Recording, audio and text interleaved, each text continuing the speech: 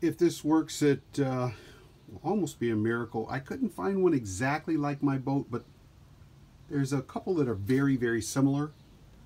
Up there is the shifter cable, and it goes, uh, the shifter bellows needs to be changed, and I couldn't find it back there. I thought I was going to have to pull this riser off, but thankfully, I was able to find out where it is in here. This right here has a protective sheathing around it. And I thought it was back there, but I totally, I finally found it. It's right here. And I'm going to take that protective sheathing off. And uh, since I'm shooting this with my, just my phone, it's going to be, I can't show you the work, but I'm going to unthread that and then we'll continue the work. Hopefully I can do this. This will save me about a thousand dollars, maybe more. Okay, there's step one completed. A little, a little easier than I thought. Now, step two is over here. And once again, I've seen guys do this and it's kind of weird trying to figure out what they're talking about, but when you see it in real life, it kind of makes a little more sense. Um, this has to come off.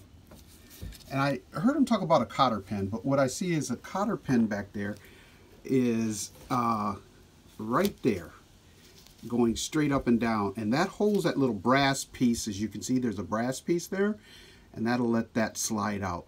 So once again I'll just do it and show you where I am when I get done. Okay no earthly clue to what that thing does but it was totally in the way of me getting that clip out of there so I just removed it. And so now this thing should just slide right off. Well it did. Um, so now the next thing is to move that, uh, hold some pliers on there, take that jam nut right there, and then we'll get that loosened. Uh, actually, first, before we do that, these little little square things here hold the cable in. So I'll loosen that up with a crescent wrench, then loosen that, and hopefully unscrew this whole thing off of there and that did come off. It's uh, once I loosened that and that it released from off of this cable right here and it just slid right off. Now just to undo that jam nut up there and unscrew this whole thing right here off of there. Well as advertised like the internet shows you just loosen up that jam nut and just turn this and it unscrews from that and now we'll take that whole thing off. Now the good news is that distance there is the adjustment. I didn't mess with that at all. I just loosened that jam nut right there, unscrewed this whole shebang, and now we'll set that down as well. So what I'm going to do now is get a some sort of wire or fishing line on here and when I pull it out through the back it will at least hopefully follow the same path so that I could pull it back through the same path. Wish me luck, boys and girls. Okay, so this is what I've done. I've uh, wrapped fishing, not fishing line, but uh, a roll of this heavy kite string or whatever kind of string it is. And hopefully that will be like my fish tape to get through there. Now it's time to start pulling it out the back. Okay, so Here's where the shifter bellows is. Uh, you can see this is, it's been torn. I tried to do some stuff, but we're gonna get that off of there. And the key to this, they say, is to not kink this hose as I pull this hose, not hose, cable. As I pull the cable out, not to kink it. So the cable is right there. All right, let's let's get this a whirl. All right, guys, I am absolutely shocked, amazed, thrilled. It was a little hard getting it through there with that. I see that that little part right there barely makes it in, so you got to keep that kind of about that size. So I went up over it, so don't do that.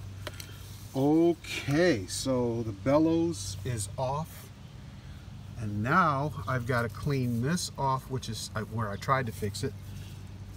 Get the clamp off. and uh, thread the new bellows on. Okay, I slid the bellows on and guys, I've never seen anybody on YouTube do this, but that hole in that top of that thing is really small and they a lot of people have greased it and oiled it. So what I did, I went and heated up a, a cup of water in the microwave, got it real hot, and then I put a little grease, marine grease on the end of here, slid it on there while it was hot, and that really expanded that to where I could roll it on, and I pushed it all the way up to here. And now I'm going to put the clamps on this thing and hook it up to the string and pull it through.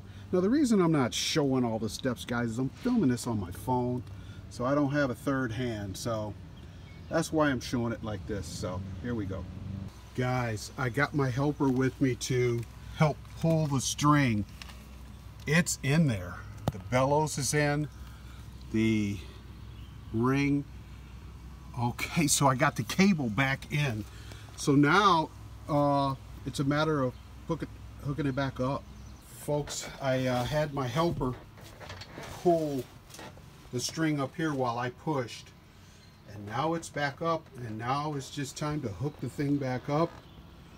Guys, I think I just saved a grand. This is awesome. All right, guys, so on the way out, at least I got somebody to help me film. So this goes on here like this and now we'll screw that back onto here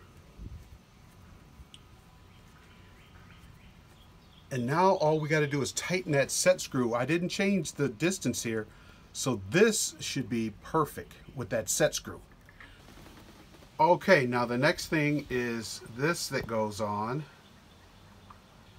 and now we'll tighten these up all right, I've got all this button back up. Um, got everything situated like it came off.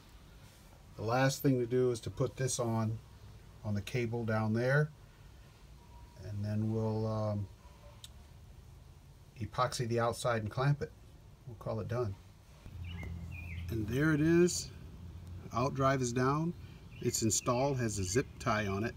Uh, the guy at the marina told me use a zip tie and not the thing unless you have the special tool, which I do not. So, I think that might be it. Well, there's an adage. The second happiest day of your life is when you buy your boat, and the happiest day is when you sell it. So here's the deal. I fixed the bellows, put this down, put the drive down to start it. Drive won't go up.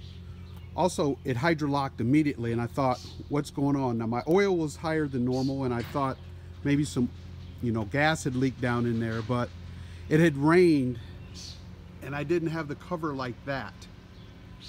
I had misplaced that stake and it just was puddled of water in there. When I opened up the, um, when I opened up the compartment, the bilge was, had a lot of water in it and I didn't have the cover on top of the carburetor and I drained about two gallons of water out of the engine right now took the spark plugs out three of the cylinders start pouring out water and I'm like oh no so I got the motor to spin just about that much by hand uh, I have no idea what's gonna happen now but ugh ugh ugh ugh I thought I was gonna have my boat in the water here but it's going to be a while now. I'm, I'm, working on it, trying to see if I can get it running again.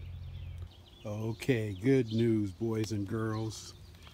Uh, I messed with the trim motor, and I pulled off this little sending thing. You can see there's marine grease in there. I had greased that, and I must have got too much uh, behind there. And now this uh, this metal piece and this metal piece is not making contact. So all I got to do is clean that grease up, put this back on, and boy, boy, boy, we're good on the trim motor. Now for the motor itself. And all I have to do is rebuild this nasty carburetor. It had water down in there, of course. That rusted some stuff out. So I got a rebuilt kit coming on the way. It runs on bottle feeding it with that bottle, just just squeezing it in there, runs like a champ. So the engine is good. Just got to get the carburetor back together, and uh, the boat is good. So anyway, something that turned out that was so bad, thankfully, it's just a simple fix. Once again, I thank you for watching. I hope you enjoyed this. We'll see you next time.